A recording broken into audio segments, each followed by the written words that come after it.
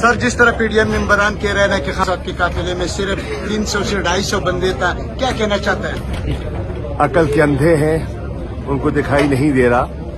और अ, मैं आज इस कामयाब रैली पर तमाम कारकुनान को और लाहौर के शहरियों को खास तौर पर मुबारकबाद भी देना चाहता हूँ और शुक्रिया भी अदा करना चाहता हूँ। आज की रैली ने हमारी कैंपेन का आगाज़ कर दिया है और इंशाअल्लाह बरोज इतवार, जो तहरीक इंसाफ का मीनार पाकिस्तान पर जलसा होगा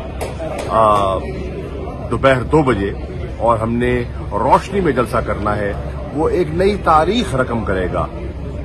तहरीक इंसाफ का कारवा अपनी मंजिल की तरफ़ रवा दवा है, और मेरी अपील है बाशूर पाकिस्तानियों से आए, और हकीकी आज़ादी के जहाद में अपना हिस्सा बनाएँ। पाकिस्तान जिंदाबाद। सर इतवार वाला दिन जलसा है। मुझे बता सकता है ये जो निगरान हुकूमत है जलसे की इजाज़त देगा?